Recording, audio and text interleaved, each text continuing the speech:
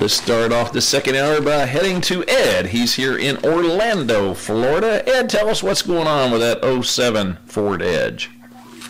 Uh, hey, Larry, how you doing? Um, it's a two, it's uh, good, good. It's a 2007 Ford Edge. Got a 3.5 uh, um, motor and a six-speed transmission. Okay. Uh, it's a neighbor's car. We had it one CV joint replaced, which I would do both myself, but uh, he took it back to the mechanic because he's still getting the shimmy. He's had a line, he's had tires bounced, and I'm leaning towards the other CV joint, but they're telling me it's a transmission. So, do you know anything about these transmissions? Is that possible? It's uh, they they call. Do you know what, whether this one is a? Do you know whether it's a front wheel drive or an all wheel drive?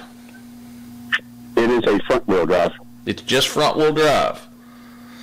Yes, sir. Okay, it's important I know that because I have to think in terms of no rear end, no no rear differential, and no big long drive shaft coming off of the. So if it's just a front wheel drive, and they got a vibration at pretty much what just highway speeds.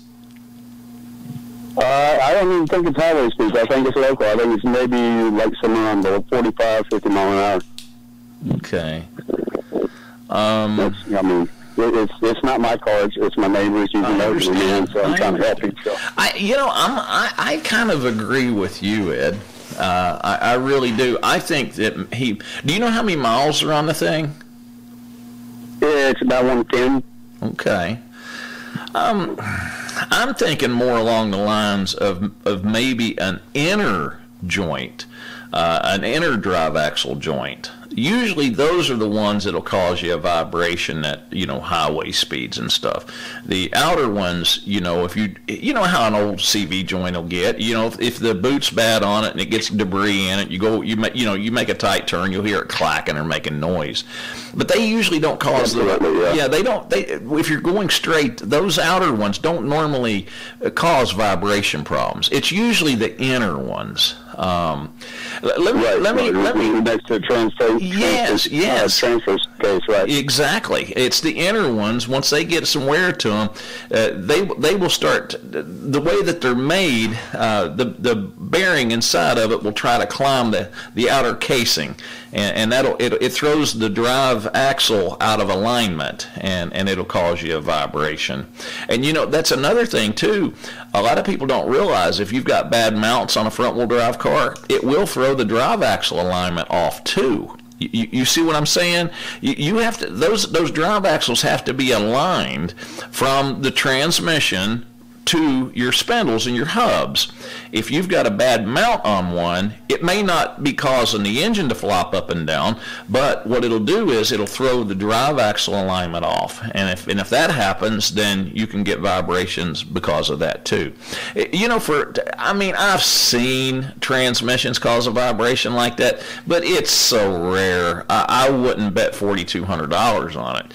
Um, not without getting a second and a third and a fourth second opinion. I, I I think that it might be worth some, somebody else just maybe taking a little bit of a test drive with it and, and, and see what can come up with. I'll tell you like this, Ed. You know, what's the harm of putting two drive axles in it? You know, I I mean, I it, it's so normal that the drive axles would cause this problem. I would much rather take a shot in the dark of throwing two drive axles in it uh, as opposed to spending a, a $4,200 on a maybe transmission because, you know, vibrations, transmissions, it's possible, but it's not, I doubt that that would be the issue. Uh, the other thing, too, is, um, and, and the reason I'm going to bring this up is because we got one down at the shop right now. 07 Ford Edge, same exact car and we're getting ready to put a motor in it. It's got right at 100,000 mile on it. Does that sound like anything that you know here? Yeah, Um, uh, yeah, yeah, uh, that's about right. Yeah. Okay, uh, we got the same car sitting down at the shop right now, and it just happened to be one of my wife's clients. She's a real realtor, and she's they they that motor that's in that car, 3.5 V6, uh, it's got that internal water pump. And those things let go, and it fills the engine full of coolant. And guess what? They buy a motor at 100,000 mile. Uh, you won't know that the water pump is leaking until the engine's full of coolant, and then you've done ruined the engine. Uh, and it, it that car at that age, it's it's hard to it's hard to justify putting a new motor in it. You know. So you need to have them do the research and look at that water pump. Just put in 07 Ford Edge, Google it, and read up on it to see what we're dealing with here.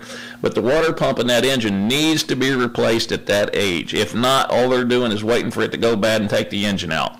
So the transmission or the vibration will be the least of their problem if they lose an engine. So now that I've got you thoroughly you know, confused and done shook you upside down trying to get all the pennies out of your pocket, I'll leave you with that. But uh, like I always say, if we can help you, you let us know. I wish you the best.